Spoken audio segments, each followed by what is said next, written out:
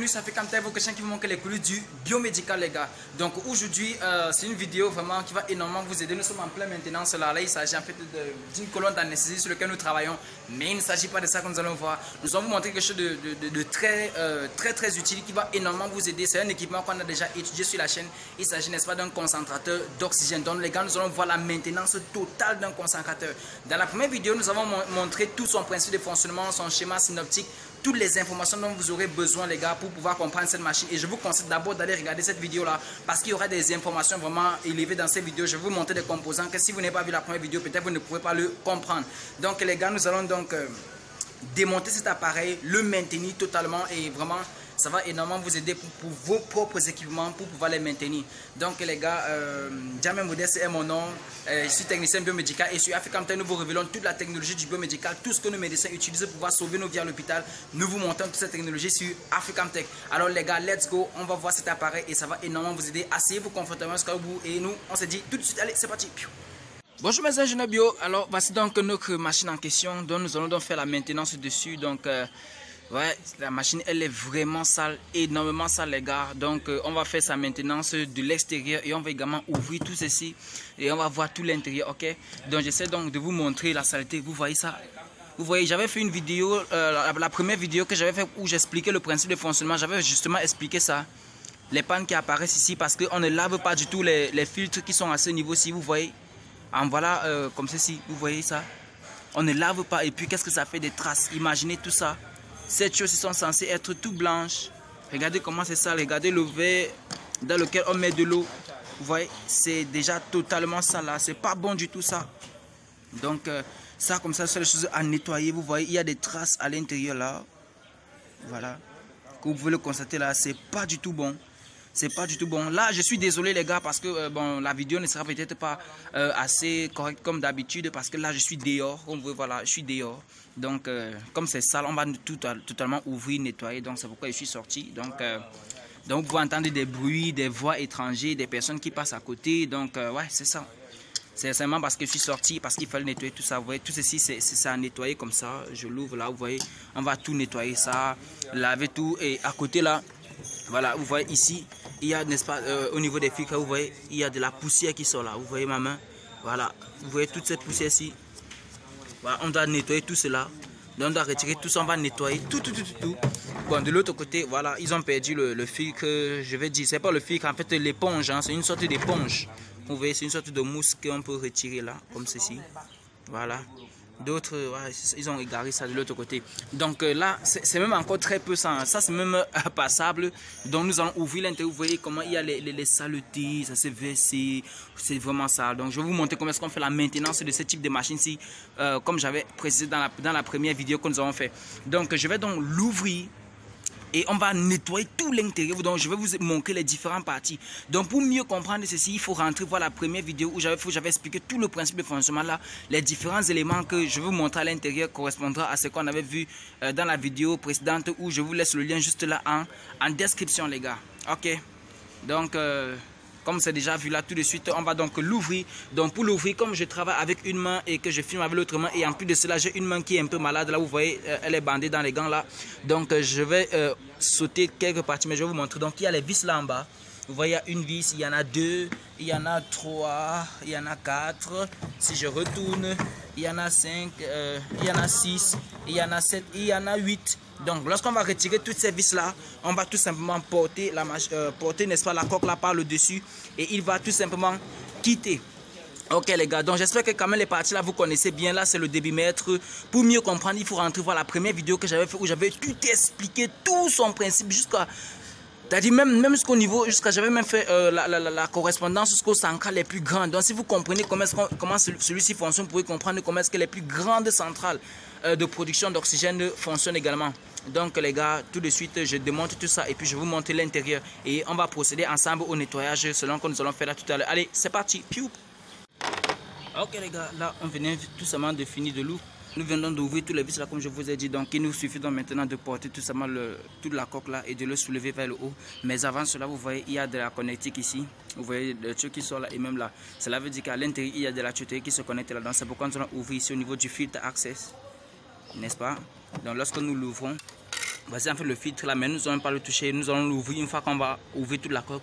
Mais ce qui nous intéresse, c'est d'enlever, vous voyez, la tuyauterie qui monte au-dessus là, qui va venir pour, au niveau de l'humidifieur où l'oxygène ira malade. Vous voyez la tuyauterie qui l'amène très bien là à ce niveau-ci. Je ne sais pas si c'est bien visible.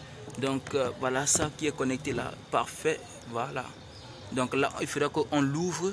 Il y a aussi de la tuyauterie devant là-bas. Vous voyez encore l'autre tuyauterie qui est juste là-bas.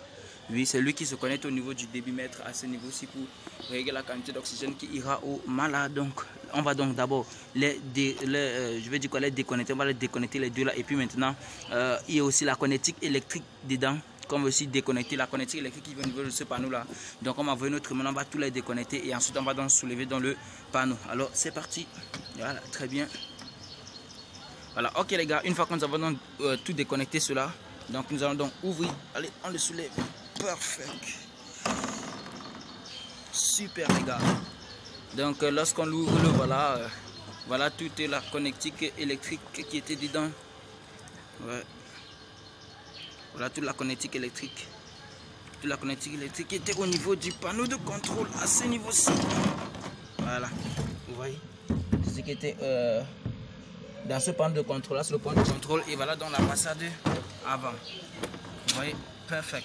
Donc, comme vous pouvez constater là, là, il y a en fait de la mousse à l'intérieur. C'est en fait pour isoler, n'est-ce pas, le bruit, en fait, euh, pour insonoriser, pour insonoriser, pour que le bruit ne puisse pas, euh, en fait, nuire aux patients ou bien nuire, faire du bruit en salle d'utilisation. Ok, vous voyez, c'est bon. Parfait. Alors, voici donc euh, notre machine. Donc, à ce niveau-ci, les gars, donc déjà c'est super parce que nous avons déjà tout expliqué dessus et je crois que les gars vraiment ça va encore bien maintenant vous aider euh, à comprendre parce qu'on avait fait une première vidéo où j'avais montré euh, toutes ces parties-ci sur un schéma euh, explicatif, synoptique. Et là maintenant, voici, nous avons l'opportunité, n'est-ce pas, de pouvoir ouvrir et de voir l'intérieur de cela, comment est-ce qu'il se présente dedans. Et je crois que ça va vraiment énormément vous aider beaucoup même. Mais euh, donc déjà vous voyez voici le but de ce que nous allons faire c'est que nous allons euh, comme vous pouvez voir il y a de la poussière à l'intérieur là vous voyez. Nous allons tout simplement l'essuyer. Nous allons utiliser notre souffleur. Nous allons souffler toute la poussière vous voyez tous les, dépôts de poussière même au, niveau du bas là. Vous pouvez constater trop voilà les, les dépôts de poussière et tout. Donc nous allons donc souffler tout cela. Mais avant de le faire les gars je vais donc profiter comme la machine elle est totalement ouverte pour vous expliquer en fait tout, tout le principe de fonctionnement, encore une fois de plus, en vous montrant les différentes parties. Ok, super. Donc, euh, sans...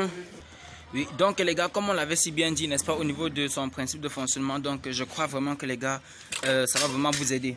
Donc, nous allons donc, je vais donc l'expliquer, mais pour comprendre bien le principe de fonctionnement, les gars, j'ai mis la vidéo en description. Regardez cette vidéo-là où euh, j'expliquais tout le principe de fonctionnement, les maintenances de premier niveau qu'on peut faire sur un, sur, concentrateur d'oxygène. J'expliquais absolument tout. Donc si vous regardez cette vidéo là, vous allez parfaitement comprendre celle-ci. Donc je vais donc euh, euh, revenir. Donc nous avons donc dit qu'un concentrateur d'oxygène est une machine qui permet en fait de produire de l'oxygène à partir de l'air ambiant à une pureté d'environ 90%. Donc qu'est-ce qui se passe? En fait nous avons un moteur électrique. Donc regardez cette autre vidéo là, vous allez voir tout le schéma là-bas. Donc c'est pourquoi je vais expliquer et évoluer pour ne plus trop euh, faire long dans cette vidéo. Donc à ce niveau nous avons donc un moteur électrique qui aspire de l'air de l'air ambiant. Et le moteur électrique il est en fait à l'intérieur. Il y a en fait deux ventilateurs ici là qui permettent en fait de, de refroidir le moteur. Le moteur est en fait dans cette sorte de caisse. Pourquoi est-ce qu'il est à l'intérieur dans cette sorte de caisse? C'est pour... Euh, c'est pour les soins d'insonorisation, donc pour isoler. Pour parce que vous savez que si le moteur se met à ronfler, euh, lorsqu'il démarre, il ronfle, il fait du bruit. Donc imaginez cela en salle, au, chevet de lit d'un malade, ça va le faire extrêmement de bruit et ça va faire en sorte que euh, ça, va, faire trop de bruit et ça va nuire. Donc il est donc contenu en fait dans cette sorte de, caisse là pour des soins euh, d'insonorisation. Vous voyez un peu, c'est un peu comme des groupes électrogènes industriels. On les met en fait dans des caisses, dans des sortes de conteneurs pour pouvoir, n'est-ce pas, isoler le son. Et vous voyez, il y a de la mousse. Donc tout autour là, à l'intérieur là, il y a de la mousse à l'intérieur pour absorber le son, les vibrations et tous les bruits pour que ça ne puisse pas faire trop de bruit. Ok? Donc c'est pourquoi le moteur il est donc là à l'intérieur. Bon, je ne vais pas l'ouvrir. Vous voyez les gars, c'est vraiment trop fermé et puis c'est pas du tout utile même. Donc il y a donc deux ouvertures vers le haut et il y a deux ventilateurs là qui permettent en fait de, de, de, ventiler le, moteur pour que vraiment il y ait une bonne circulation d'air et que le moteur ne chauffe pas et tout. Donc une fois que le moteur aspire de l'air, il aspire de l'air via, via ce, euh, ce, filtre anti, ce filtre antibactérien. Donc, il en fait là, il a pour rôle en fait de retenir toutes les particules, c'est-à-dire la poussière euh, et toutes autres particules qu'il peut avoir dans l'air. Voilà, vous voyez, ce filtre, il est même sale, nous allons le remplacer. Je vais aller chercher un autre filtre à l'intérieur, nous allons le remplacer. Vous voyez donc, voilà dans le filtre en question, vous voyez comment est-ce qu'il est totalement sale. C'est fait que c'est censé être tout blanc, mais là vous voyez comment est-ce qu'il est tout sale. Et voilà donc en fait l'ouverture, vous voyez même là-bas, c'est énormément sale les gars. Donc nous allons nettoyer tout cela. Donc vous voyez, par cette ouverture, c'est voilà l'ouverture où le moteur aspire de l'air. Donc il aspire donc de l'air par là. Et c'est ce, cet objet-ci, en fait, ce filtre-ci, qui filtre cette air-là de toute la poussière. Ok? Une fois donc que le moteur aspire cette air, alors cette air-là va donc revenir elle va donc passer, sortir par cette tuyauterie. Voici ça, vous voyez comment, là, là où ça ressort du moteur, donc du caisson en fait. Il ressort par là, par cette aspirale, c'est comme une sorte d'aspirale en métal là. Voilà, et vous voyez voilà où il se connecte à de la tuyauterie euh, en, je veux dire, c'est en caoutchouc, c'est en, c'est en du moins flexible. Très bien. Et ensuite, il va donc aller dans, dans, deux, dans, cet élément-ci. Ici, en fait, c'est comme un distributeur. Un distributeur ou un sélectionneur, en fait, de, de, de, voix. Vous allez comprendre la suite quand je vais expliquer. Il a deux éléments très importants là qui sont deux électrovantes. Donc voilà, une électrovente pour un circuit et deux, le deuxième électrovente c'est pour le deuxième circuit. Pour le comprendre, je dis rentrez, regardez la première vidéo que j'avais fait parce que si vous comprenez la première vidéo là, vous allez comprendre pourquoi est-ce que je dis ceci. Nous avons dit que une fois donc que le lait est donc aspiré par le moteur, en fait, cette vient, vous voyez comment est-ce qu'il revient là, et il va donc entrer à ce niveau-ci dans ce sélectionneur. Et c'est maintenant donc les deux électrovantes là en fonction de la carte qui le contrôle. La carte va en fait sélectionner l'une des voies et activer en fait concernant. L'air va soit venir dans le, ça ce sont les éolites. Donc vous voyez ces, ces deux éléments, si je l'avais montré dans la première vidéo, ce sont eux en fait qui ont pour rôle de faire quoi, de capter le diazote euh, contenu dans l'air, qui est majoritairement dans l'air, il va capter tout le diazote pour ne laisser passer que de l'oxygène. Ok?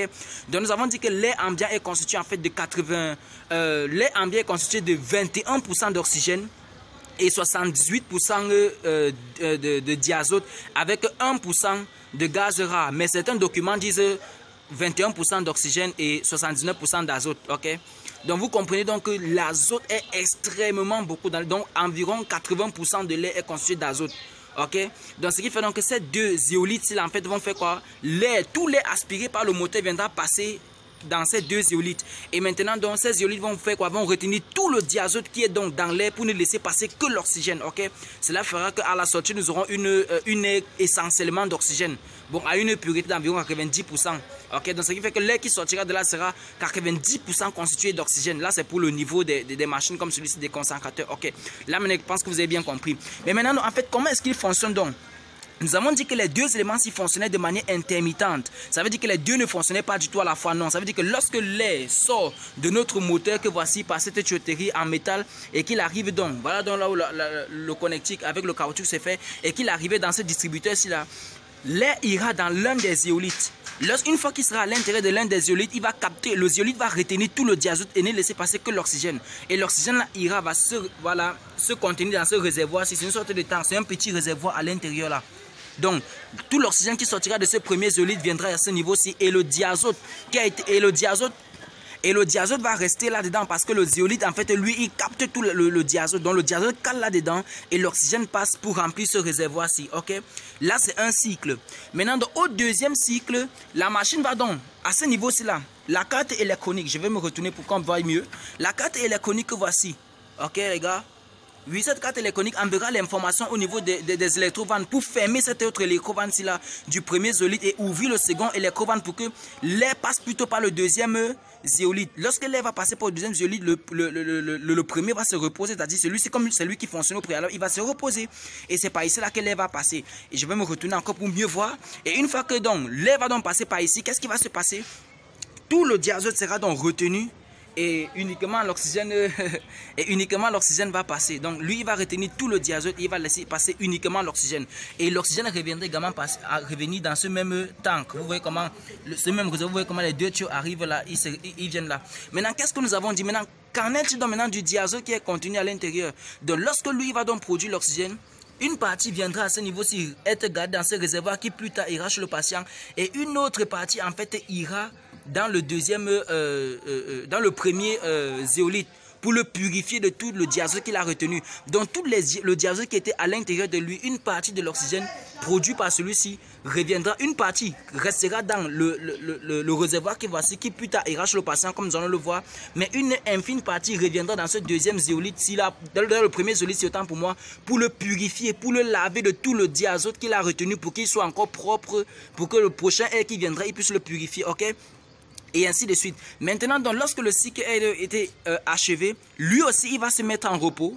Et celui-ci qui a été purifié va reprendre le cycle. Ça veut dire que son électroventile va encore se réactiver. L'air va plutôt venir par ici. Et lui va également encore retenir tout le diazote et ne laisser passer que l'oxygène. Et une partie donc, de l'oxygène reviendra encore ici dans ce même réservoir. Et l'autre partie de l'oxygène reviendra aussi pour laver celui-ci. Donc vous comprenez, on dit que ça fonctionne de manière intermittente. Ça veut dire que lorsque celui-ci fonctionne, il produit de l'oxygène. Il garde, il capte tout le diazote et il produit de l'oxygène. Une partie de l'oxygène va venir dans ce réservoir pour aller chez le patient et une autre partie d'oxygène reviendra pour laver celui-ci de tout le diazote que lui, il avait retenu au départ. Et lorsque ça va se faire, celui-ci aussi va entrer en repos et puis c'est celui-ci qui va commencer à fonctionner. L'air reviendra, l'air qui vient du moteur reviendra à l'intérieur. Une partie, je vais dire tout le diazote sera retenu. Une partie de l'oxygène viendra être conservée dans le réservoir qui plus tard ira chez le patient. Une autre partie reviendra pour purifier cet autre zéolite de tout le diazote qu'il avait retenu. Donc vous comprenez pour le point. Ça veut dire que lorsque l'un fonctionne, il produit l'oxygène qui ira chez le patient. Une partie c'est à laver l'autre de tout le diazote qui était contenu dans lui. Et réciproquement, lorsque celui-ci va commencer aussi à fonctionner, une partie de l'oxygène qui va produire viendra dans le réservoir qui plus tard ira chez le patient et une autre partie reviendra aussi pour purifier cet autre zéolite de tout le diazote qu'il aura retenu. Ok? Donc j'ai fait tous les efforts pour expliquer de manière plus, plus, plus, plus, de manière plus, euh, plus explicite, plus compréhensible, même quand je me suis répété maintes fois. Donc j'espère vraiment que là, les gars, vous avez correctement compris. Donc une fois donc que ça vient, donc ça va donc venir se stocker dans ce petit réservoir-ci là. Ça c'est un réservoir d'oxygène. Et là en fait c'est une ouverture. On peut l'ouvrir en fait pour régler en fait le, le, le débit d'oxygène que l'on veut. Donc plus on tourne sur cette manivelle, on ouvre, plus on on, tourne cette manivelle là, on peut le fermer, donc on peut l'ouvrir ou fermer pour, euh, en fonction du débit qu'on veut qu'il aille euh, par la suite. Donc par cette autre tuyauterie, si vous voyez donc que l'oxygène donc contenu dans ce réservoir-ci va donc passer par cette tuyauterie, parfait, venir avoir maintenant un filtre à ce niveau vous voyez ces filtres là, ça veut dire que cet oxygène maintenant sera filtré. Ça, c'est un filtre encore actif bactérien qui va filtrer avant d'aller au patient. Et maintenant, dans cette, ça, c'est maintenant, c'est que nous avons débranché au départ. Si vous vous rappelez, comme est-ce que je vous ai montré, je vous ai dit, pour qu'on puisse le soulever, il fallait qu'on le débranche. Donc, c'est donc lui, en fait, il va donc venir dans se brancher, donc, à ce niveau-ci là, sur le débitmètre. Vous voyez, c'est sur ce débitmètre. Donc, lui, puisque voici il y a tout l'oxygène, je vais le retirer par ce côté-ci là pour qu'on puisse bien le voir. Voilà, vous voyez lui passe ici. Donc il viendra dans ce brancher en fait ce débitmètre ici par l'intérieur. Voilà l'endroit où il se branche. Vous voyez ici. Donc, lorsque lui va dans ce brancher de là, le débitmètre, on va régler l'oxygène. Et vous voyez comment est-ce qu'on peut régler l'oxygène. Donc là, s'il y a une balle à l'intérieur, c'est un débitmètre gradué. Vous voyez là, 1, 2, 3. C'est 1 litre par minute, 2 litres par minute, 3 litres par minute, 4 litres jusqu'à 5 litres. Il y en a des débitmètres qui peuvent, qui peuvent aller jusqu'à 10 litres par minute. ok? Mais celui-ci, ça se limite à, à 5 litres. Ce qui fait maintenant que pour le régler, on tourne la, la, manivelle là et la balle va monter. Donc il y a une bille à l'intérieur là que vous pouvez le voir. Et elle pourra grimper, passer à 1, 2 et, et ainsi de suite. Et une fois donc maintenant que cet oxygène, une fois que cet oxygène sortira en fait de, de notre, de notre euh, débitmètre, que voilà, ok, vous voyez par le second tuyau en haut, donc il par ici en bas, il se fait donc régler là-dessus, voilà, et ensuite il va donc venir sortir par le haut ici, parfait, et maintenant le voici, cet autre tuyau que nous avons débranché, et c'est lui qui vient en fait se brancher à ce niveau-ci, ok, excusez un peu pour que je filme bien, ok, vous voyez, il vient se brancher à cet autre tuyau ici en haut, vous voyez là, parfait, il va se brancher comme ça. Vous voyez comment il sort du débitmètre. Il se branchera là. Et c'est en fait lui qui sort ici. Parfait. C'est lui qui sort ici pour venir donc dans l'humidifieur. Je l'ai trempé. Hein. Je vous ai montré comment est-ce qu'il était totalement sale, n'est-ce pas? Je l'ai trempé. Vous avez vu comment est-ce qu'il est à même propre. Je l'ai trempé dans le, dans le javel. Vous voyez comment est-ce que l'eau est euh, totalement sale. J'ai décidé de faire ça, tout ça devant vous pour que vous puissiez voir. Ok, là il est un peu propre. Nous allons encore le laver. Mais il était bien sale au départ. Vous voyez donc, il viendra donc là, dans, le, dans, dans ce euh, humidifieur-ci là. Ok, il y a encore d'autres éléments à l'intérieur que je vais prendre. Il y a donc, euh, excusez les gars, il faut que je vous montre tout. De manière à ce que vous-même vous puissiez être à mesure de pouvoir faire cette maintenance chez vous. Ok, vous voyez ça? Donc cet élément-ci là, ce tuyau-ci va donc se brancher là, à l'intérieur là, voilà. Donc il va donc se brancher là à l'intérieur. Voilà les gars, comme je vous ai montré, donc il est encore sale, nous allons le nettoyer. Donc ça là va donc venir se brancher donc là comme ceci. Et là, il y aura donc de l'eau dans, ce, dans ceci. Et les, oh, désolé, c'est encore tombé. Bon, je vais le mettre normalement, on le met comme ceci pour que euh, cet élastique s'il le maintienne. Alors lui, il viendra donc entrer là à l'intérieur comme ceci. Donc il y aura donc de l'eau là. Et puis maintenant, on va donc le fermer et on viendra brancher la lunette à ce niveau-ci. C'est donc là que l'oxygène ira donc chez le malade. Donc la lunette en fait ou le masque qui sort de chez le malade viendra se brancher là et l'oxygène pourra arriver donc chez lui. Donc les gars, je vous ai donc montré en fait tout le principe, toute la technologie, tout comment euh, les tout comment est-ce que l'air se déplace à l'intérieur. Vraiment, les gars, l'explication, elle est totale, elle est parfaite. Maintenant, je pense que quiconque peut maintenant faire la maintenance de son, concentrateur, vraiment, les gars, j'ai tout expliqué. Donc maintenant, si là, vous comprenez déjà, c'est une très bonne nouvelle. Ok, les gars. Mais maintenant, nous allons passer à la deuxième étape où nous allons donc euh, devoir faire quoi? Nettoyer tout ceci. Je vais donc prendre euh, mon souffleur. Et nous allons donc souffler tout ceci et nous allons encore repartir tremper comme nous avons mis ça. Nous allons le retremper encore dans le chlore, c'est le chlore, c'est-à-dire le javel, pour en, fait enlever toutes les traces là. Donc il se trempe encore là. Et à la fin, nous allons totalement laver. Alors on se retrouve tout, on se retrouve tout de suite. Il y a aussi même cet autre euh, truc qu'il faut changer. Donc on se retrouve tout de suite avec mon, mon souffleur. On va souffler tout ça. Ok les gars, ciao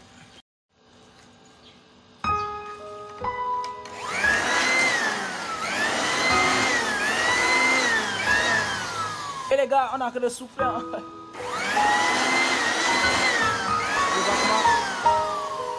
Vous voyez comment toute la poussière là qui dessus. Ouais. Oh oui les gars. Ça peut y tomber la caméra les gars. Oh là là là là. Ok, on continue.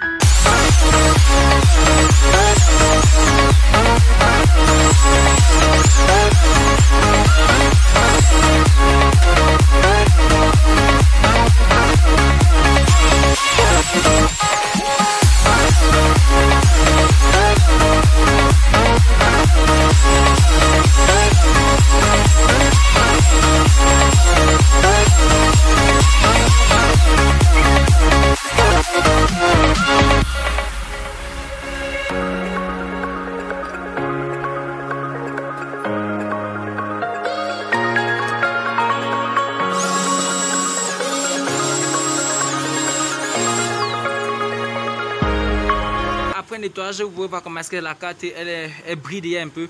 Mais j'ai encore filmé parce qu'il y a un dernier truc que j'avais omis de vous montrer. C'est en fait que euh, ici à ce niveau-ci, nous avons en fait comme une sorte de capteur en fait qui est là pour renseigner au microcontrôleur de la présence de l'oxygène. Donc c'est une autre tuyauterie, vous voyez là. Il se connecte là, c'est un composé électronique qui détecte la présence de l'oxygène n'est-ce pas, ou bien du fluide en question, que ce soit de l'air ou bien de l'oxygène, selon que vous voulez. Donc, il sort en fait de ce réservoir-ci, donc de ce réservoir-ci là, et lui, il remonte par l'autre tuyau là, pour venir en fait à ce niveau-ci. Vous voyez? Et renseigner la carte. Donc c'est en fait euh, comme le surveillant quoi. Donc c'est lui qui dit en permanence au microcontrôleur de la carte qu'effectivement il y a de l'oxygène qui est produit. Il y a de l'oxygène qui est là. Ok? Donc j'avais omis de le montrer. Il fallait bien sûr que je vous le montre. Alors là les gars nous avons donc fini d'essuyer ceci, de nettoyer tout ceci. Maintenant il reste donc la coque extérieure là. Nous allons donc laver tout cela bien. Et aussi laver les autres éléments qui nous restent là-bas dans, dans de l'eau que nous avons euh, trempé dans, de, dans du javel. Nous allons tout nettoyer là, tout souffler. Alors c'est parti.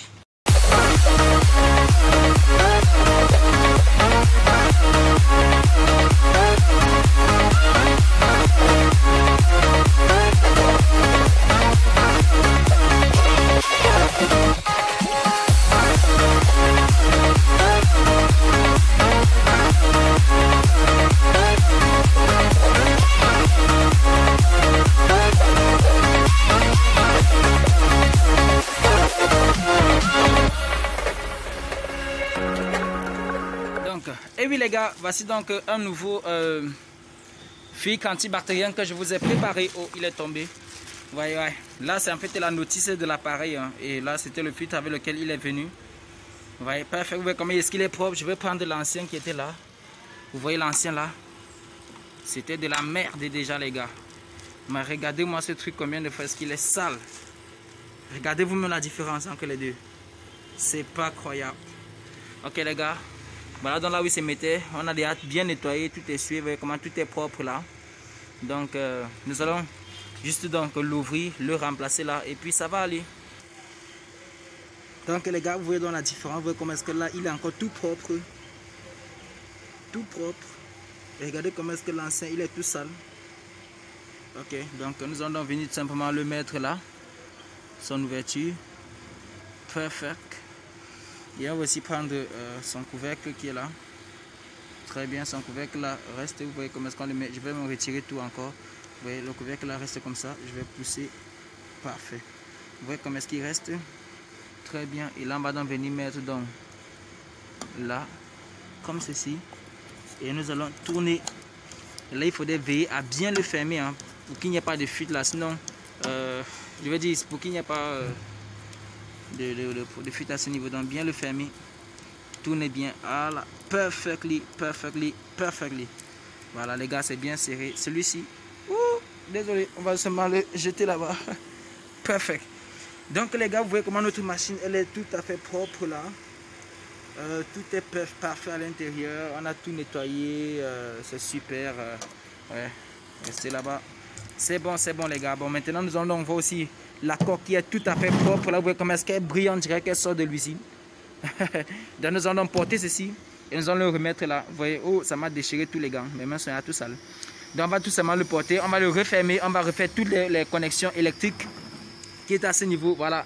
Et ceci, on va aussi le tremper dans de l'eau ici parce qu'on va le laver tout à l'heure. Parfait. Donc là, on va euh, refaire toutes les connexions électriques qu'il y avait à l'intérieur. Et ensuite, on va euh, refermer cela. Donc, on se voit donc une fois que j'ai refait les connexions électriques. Donc, je vous présente encore, c'était les connexions qui étaient juste à ce niveau, au niveau du panneau de contrôle avant. Que voici en fait. Voilà, donc on va reconnecter tout ça pour son écran et tout, le bouton d'alimentation, tout ça. Et on se retrouve dès qu'on a tout remonté et on va tester pour voir comment l'appareil fonctionne à merveille. Allez, let's go. Vous voyez, voilà, j'ai retiré en fait le panneau de contrôle avant pour que cela puisse être facile pour moi de pouvoir euh, remonter en fait, de faire, de refaire tout le câblage électrique là, une fois que, euh, une fois que je l'aurai monté. Donc, c'est qu'on va donc tout simplement faire, c'est qu'on va donc le porter, on va le réenfiler là au-dessus comme ceci. Et en fait, on va donc récupérer tous les connecteurs électriques, on va les reconnecter au niveau de la carte là. Et ensuite, on va refermer tout simplement la carte. Ok, c'est comme ça que ça reste. Et on va refermer seulement la carte. Ok les gars. Donc, euh, fermons tout cela et puis on voit comment est-ce que tout cela se fait. Allez, let's go.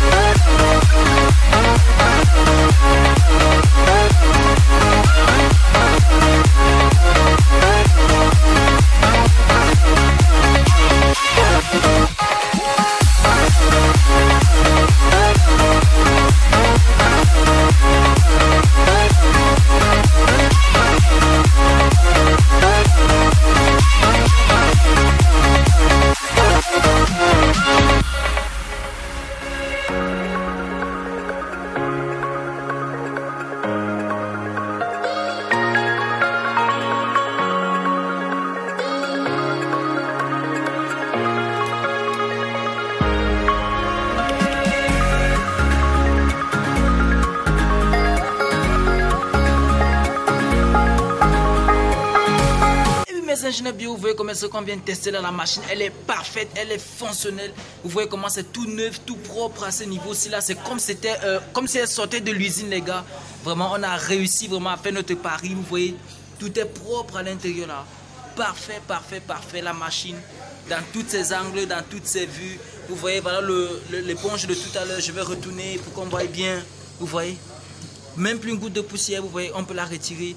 Vous voyez comment est-ce qu'elle est totalement propre. Il peut la secouer. C'est super, c'est propre les gars, c'est vraiment waouh, c'est de ouf. On peut retourner encore la machine de l'autre côté. Vraiment c'est super les gars, c'est super, c'est super, c'est parfait. Euh, l'oxygène elle est bien, elle sort bien, tout est parfait dessus. Euh, le début mec là est actuellement à 5 litres par minute. Les gars c'est super, c'est super, c'est super. Et vraiment les gars, c'était du good job. Perfectly.